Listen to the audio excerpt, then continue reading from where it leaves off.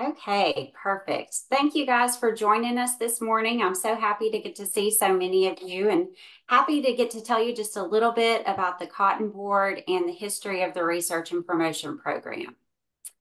So the Cotton Board was um, created during the 1960s when cotton growers, not unlike today, were facing a lot of economic pressures. Not only were they facing pressures from pests like the boll weevil, but they were also battling an extreme loss of market share from the rise of use of synthetic fibers. Now, the National Cotton Council had been conducting a research and promotion program for several years, but their leaders got together in 1965 and decided that more needed to be done to combat polyester and those other, quote, miracle fibers. So the industry leaders lobbied Congress, who enacted the Cotton Research and Promotion Act of 1966 to establish the Cotton Board.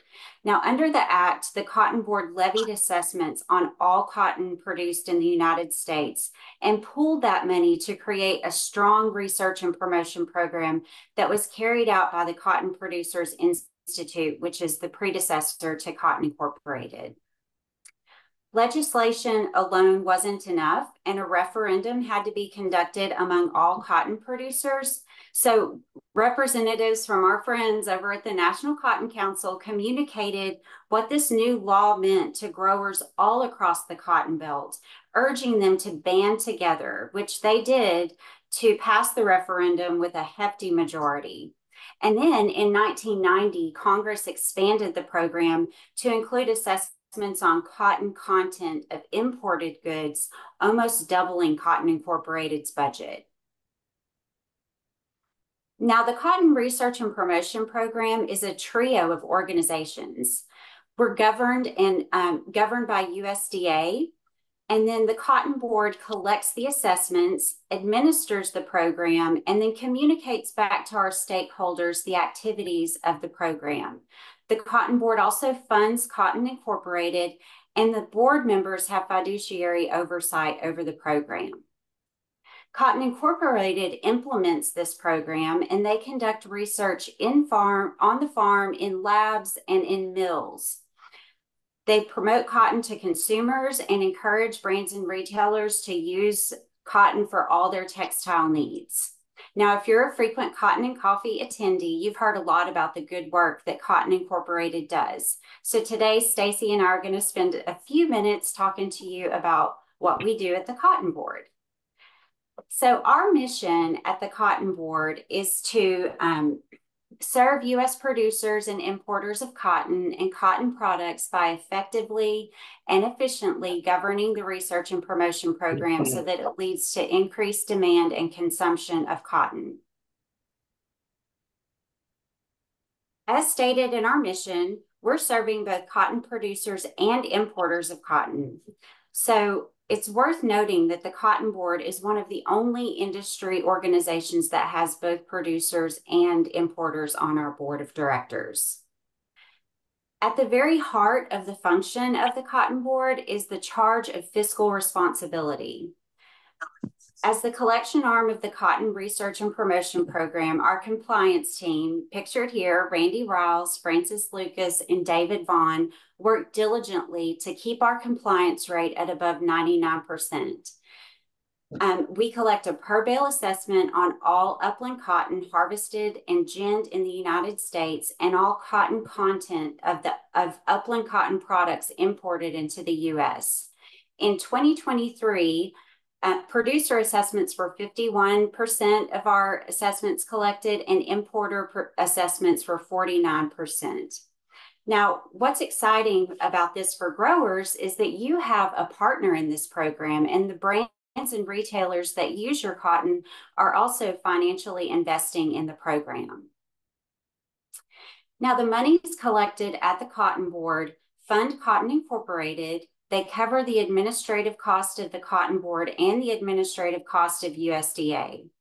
There are no stakeholder dollars involved, or no taxpayer dollars involved, sorry. Stakeholder money is invested in the program, and stakeholder representatives on the Cotton Board guide the investment in cotton's future. Our finance team is led by our CFO, Lisa Droke. Lisa also oversees our compliance team, and she diligently invests our assessment dollars and make sure that all make sure that um, she uh, has good financial oversight over the program. Jamie Webb is our accountant, and she makes sure all of our bills are getting paid and that she is following GAAP principles. Lexi Jones provides IT direction and support to our staff and to our board. She also created and maintained the application system where all of our producer assessments are collected electronically. Our president and CEO, Bill Gillon, leads our board administration team. He, along with Tom Eubank, Elizabeth King, and really the rest of our team, work to provide guidance and support for our board members. I work really closely with our executive committee and our officers of the board. The admin team works with USDA to ensure that the program is, here, is adhering to all of their guidelines and expectations. This team plans and executes board meetings quarterly and make sure that the board is kept abreast of any kind of um, action that needs to be taken. They also manage all of the legal and governing documents for the board. Now, speaking of our board, the Cotton Board is made up of 80 members. We have 46 growers with representation from each cotton producing state based on production. We have 30 importer members um, from major brands, retailers, and manufacturers, and we have four advisors to the board. Um, the next slide shows our current officers. You might know quite a few of them. Um, so Mark Nichols is our chairman. He's a producer from Altus, Oklahoma. Akiko Inui is an importer who's working for Ralph Lauren. Um, my, Matt Farmer is a producer from Lamesa, Texas. Rusty Darby is a producer from Chester, South Carolina. And then Sonia Chapman is our past chairman. She's an importer who is a professor at FIT in New York. The Cotton Board's leadership and our membership are dedicated to making sure that the program is working for our stakeholders. So the next slide shows that our program's annual budget cycle and meeting cycle. Each year, the Cotton Board's membership develops a set of recommendations designed to establish industry priorities and needs as Cotton Incorporated works towards the next year's budget. The Cotton Board held this meeting in February this year over in Savannah, Georgia. The Cotton Board's membership is keenly aware of the economic stress being felt in the cotton industry. They believe the research and promotion program has to act to address several critical industry needs. So, our top line recommendations for 2025 are first, we have to continue to push and enhance demand for cotton Second, we have to be sure we're doing everything possible to enhance industry profitability. I don't have to tell most of y'all on this call, but growers are facing virtually non existent margins. Downstream cotton users are facing similar financial pressures. So, finally, the Cotton Board's membership thinks it's time that we take a good hard look at everything we're doing. And so we're working closely with Cotton Incorporated to um, to conduct an evaluation of our program over the next year. So you've heard that we collect and manage the assessment funds, how we administer the board, and a little bit about how the Cotton Board members fulfill their fiscal responsibility. The third thing we do is communicate the benefits and accomplishments of the program with our stakeholders. So I'm going to turn the program over to Stacey Gorman, our Director of Communications, and she can tell you a little bit more about those activities. Stacey? Thank you, Emily. Um, yes, uh, thank you for providing the um, overview of some of the core functions of the Cotton Board. Uh, and now I'm excited to talk to you all about the communications function. So the Cotton Board is charged with keeping our stakeholders, and by stakeholders, we mean the cotton producers and importers who pay into our program, informed about the work being done with their investment. In other words, our communications department is tasked with telling the story of the good work being done by Cotton Incorporated to maintain support of and satisfaction with the Cotton Research and Promotion Program. At the Cotton Board, we aim to provide a level of transparency second to none. and we utilize many different tactics to get information out to you, our stakeholders. We want to ensure that those of you who fund this program have easy access to information about all the amazing work you're funding. And we want you to know where to go and who to go to if you're looking for more information.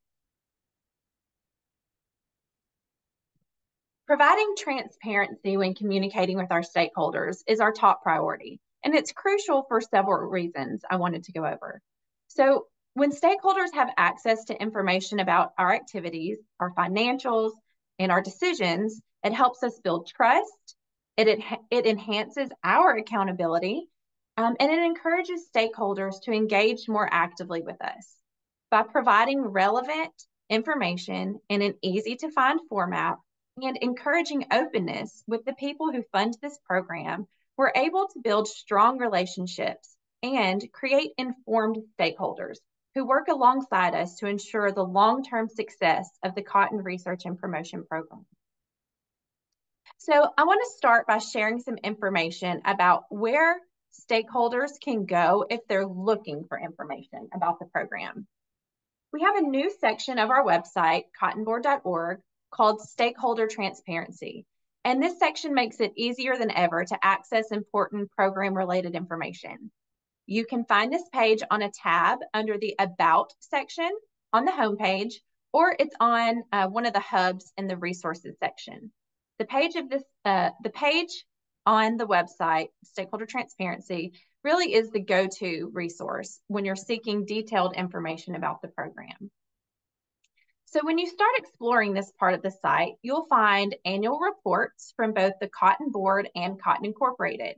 These reports are full of great information and really are a great place to start. Um, they include letters from our chairman, budget and financial information, and departmental highlights for each organization. We also want to make sure our stakeholders can quickly and easily find and access financial and budgetary information for both the Cotton Board and Cotton Incorporated. So we provide budget breakdowns, audited financials, expenditure information, all right there on the website. It's also important for our stakeholders to know who's representing them on our board of directors. So we provide links to board rosters for both the Cotton Board and the and Cotton Incorporated's board of directors. There's a lot of other great information that can be found um, under the stakeholder transparency section of the site, including governing documents for the Cotton Board, Cotton Incorporated's semi-annual activity reports, and we also house the full reports from each of the Cotton Board's five-year economic evaluation studies under that section. So I'd really encourage anyone who pays into the program to spend a little bit of time exploring the website.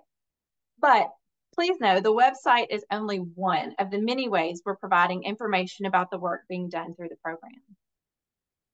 Switching gears, one information we one way we push information out to our stakeholders across the Cotton Belt is through our team of regional communication managers or RCMs as we call them. We have RCMs strategically located in each region of the Cotton Belt, as you can see from this map. You've met them all this morning, and I know you see them out and about regularly in your respective regions. Uh, Christy Short covers the Southwest, Shelly Heinrich covers the Southern Plains, Grant Somm has the Mid-South, and Daniel Radford covers the Southeast. This fantastic team of RCMs are our boots on the ground and the face of the program in the field. The Cotton Board RCMs are in the know about what's happening with the program and Cotton Incorporated, and they're often our first and best connection to our stakeholders. This team is out and about and try to be everywhere their producers are. You'll see them at all the major trade shows throughout the year, and trade shows continue to be a great place for them to meet new growers. They visit cotton producers where they are, on their farms and at the gin. These on-farm visits are a great way to establish a personal connection between a stakeholder and the research and promotion program, often establishing an open line of communication for continued dialogue with our stakeholders. The RCMs also attend and give uh, presentations and program updates at industry meetings and events. They are always available to answer questions and love talking about the program to anyone who needs information. I wanted to share some impressive numbers with you just to show you how hard this team is working. Um, the numbers I pulled are from uh, since 2021, when the world started opening back up after COVID. Uh, the RCMs have collectively made 643 gin visits four, and 416 farm visits. Y'all, these are days and nights they're spending on the road, away from their homes and families, where they're out building connections with stakeholders and sharing the good work being done by Cotton Incorporated to increase the demand for and profitability of cotton. Additionally, um, they have attended 642 industry meetings in this time span and given 171 formal presentation at cotton industry meetings. And this doesn't include the times that they've arranged for other members of the Cotton Board staff or Cotton Incorporated staff to present program updates at these meetings, or the times when they stand up and give an informal or impromptu program update. And while these numbers and these activities are awfully impressive, I'm not even finished yet. You can tell people all you want about the wonderful work that Cotton Incorporated is doing on their behalf. But sometimes the best way to show someone the great work is to take them and show them. And for that very reason, the Cotton Board hosts producer tours of Cotton Incorporated um, and the world headquarters and research facilities in Cary, North Carolina every year. During these tours, participants have the chance to hear directly from key Cotton Incorporated staff and see and tour the world-class research facilities. This unique program allows attendees to spend a day listening to Cotton Incorporated staff explain uh, their research and developments in their specialized areas of work, as well as visit the innovative laboratories located inside the research facility. The second day of the tour is spent at a local textile mill to see cotton being processed and manufactured into a commercial product. We've hosted two tours so far this year, with our third, a Women in Ag tour, happening next week. We have three tours on the schedule for 2025. And I'm so proud to report that through the hard work of the RCM's recruiting efforts and the help of our tour sponsors, whose logos are listed below, since 2021, um, which was actually still a very limited year um, following COVID. But we have taken 835 cotton producers to see their research and promotion dollars at work through the tour program. And next week, we'll add over 50 more to that number after our women's tour. So I'll quickly move through a few more of the ways that we're reaching our program stakeholders. Each month, the Cotton Board provides program related content for cotton farming and cotton grower magazines. For cotton farming, I provide a research and promotion update, and the RCMs provide regional updates. we rotate these columns monthly. For Cotton Grower Magazine, I ghostwrite a column for Berrye Worsham, the CEO of Cotton Incorporated, called Cotton Advocacy. For Farm Press, we provide a column for their Mid-South Farm and Gin Show program, and we often contri contribute to other specialty publications. In addition to our editorial contributions, we also um, run print advertising in these magazines as well. So here's a look what our columns inside of Cotton Grower magazine look like. Um, if you're flipping through the magazine and you see a page that looks like this, just know you're getting uh, information about the Cotton Research and Promotion Program. For Cotton Farming Magazine, here are some of the topics we've covered so far this year. And as you'll see, you'll get uh, columns from both the regional communication managers and from myself. Uh, one earned media success I'd like to call out is getting the cover story for the December 2023 edition of Cotton Farming Magazine, promoting the 50th anniversary of the Seal of Cotton trademark. That edition of the magazine featured the Seal of Cotton on the cover, along with a three page story within the magazine. We wrote this story under Kim Kitchings from Cotton Incorporated's byline, and the sentiment of the story reflected on the Seal of Cotton giving an identity to our entire industry. We talked about how the seal has stood the test of time, and we took a look at the importance of brand recognition and relevancy. I also wanted to call attention to our Cotton Leader email newsletter. Uh, this is published once a month and sent directly to your email inbox. The newsletter is full of program updates and it is a great way uh, for us to stay connected with our stakeholders. If you aren't receiving Cotton Leader and would like to, please sign up on our website, cottonboard.org, or shoot me a message and I'll make sure and get you on the list. The Cotton Board is active on social media on many platforms, including Facebook, Instagram, X, YouTube, and most recently we have um, created a page on LinkedIn. These platforms allow us to share key messaging from Cotton Incorporated and other industry partners, as well as create original content and share stories um, from when our RCMs are out in the field. Please make sure you're following us on these platforms if you aren't already. Another way we reach our stakeholders is through our Cotton Board calendar. For over 25 years, the calendar has been mailed out using the Cotton Board's producer mailing database.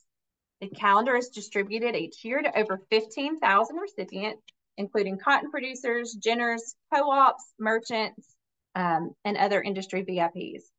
Thousands of other copies are distributed at industry events and through our sponsors. We rely on our sponsors to help offset the production and mailing costs associated with delivering this highly anticipated research, uh, resource each year. And in addition to all the beautiful pictures of cotton that we put in the calendar, the calendar is also full of important updates and information about the work being done through the Cotton Research and Promotion Program. Finally, Cotton and Coffee is one of our best ways that we are able to connect with you, our stakeholders. As most of you know, Cotton and Coffee was born during the pandemic in a time when we were desperately trying to stay in front of and engaged with our stakeholders. And considering we're now in season five um, and our numbers are growing year over year, I would definitely call this program a success. Uh, we have 12 episodes a year. They happen the third Tuesday of every month. Um, so thank you all for being connected and engaged by being on with us uh, for Cotton and Coffee this morning. And we hope you continue coming back for more updates. So thank you for your time. I've included mine and Emily's email addresses here, and we'll also send them out along with the RCM's contact information in the email um, that we send following this session. So I am going to stop this recording, stop sharing the screen, and we will um, open it up for Q&A.